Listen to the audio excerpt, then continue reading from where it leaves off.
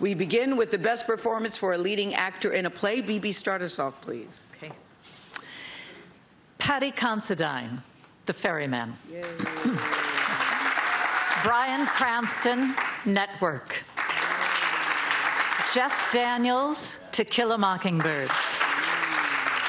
Adam Driver, Burn This. Jeremy Pope, Choir Boy.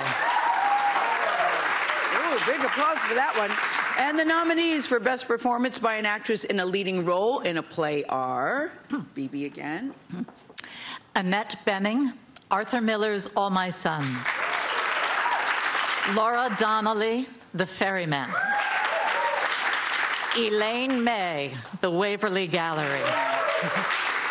Janet McTeer, Bernhardt Hamlet. Laurie Metcalf, Hillary and Clinton. Heidi Schreck, What the Constitution Means to Me. And the nominees for Best Performance by an Actor in a Leading Role in a Musical are Mr. Dixon, if you please. Brooks Ashmanskas, The Prom. Derrick Baskin, Ain't Too Proud, The Life and Times of the Temptations. Alex Brightman, Beetlejuice. Damon Daunno, Rodgers and Hammerstein's Oklahoma. Santino Fontana, Tootsie. That's interesting. Tootsie just opened April 23rd. Go Scott Sanders for that. The nominees for Best Performance by an Actress in a Leading Role in a Musical are Brandon. Stephanie J. Block, The Cher Show. Caitlin Kinnunen, The Prom. Beth Leavel, The Prom. Eva Noblezada, Hadestown. Kelly O'Hara, Kiss Me Kate. Kelly's a veteran. And the nominees for Best Revival of a Play are Arthur Miller's All My Sons. the Boys in the Band, written by Mart Crowley.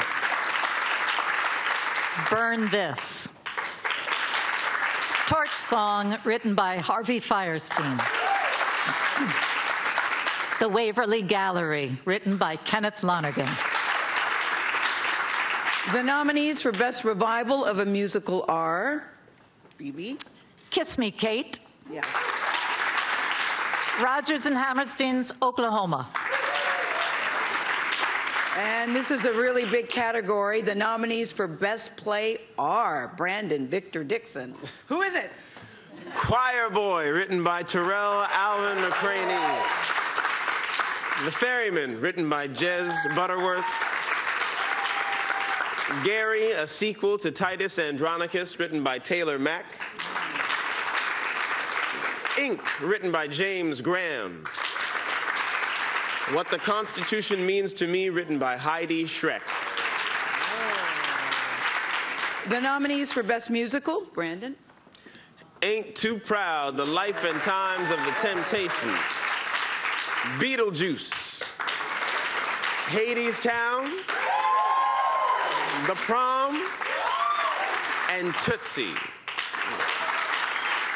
There are definitely some favorites there, but I have to ask you, are you surprised that neither Network or To Kill a Mockingbird were nominated for Best Play?